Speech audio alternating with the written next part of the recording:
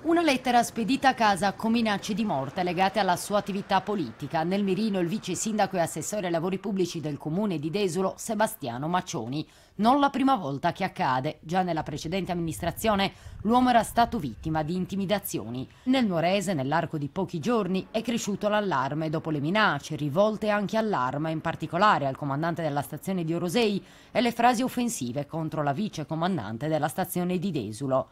E per domani il prefetto di Nuoro, Giancarlo Dionisi, ha deciso di convocare alle 10 il Comitato per l'Ordine e la Sicurezza Pubblica. Dura la condanna che arriva dal presidente della regione Solinas, un atto grave vigliacco che colpisce un amministratore locale impegnato a lavorare per il benessere della propria comunità e che si aggiunge ad altri preoccupanti intimidazioni subite da esponenti delle forze dell'ordine.